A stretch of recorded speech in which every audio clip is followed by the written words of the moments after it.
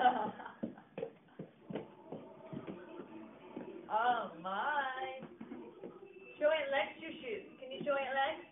Show her. Show her your pretty shoes.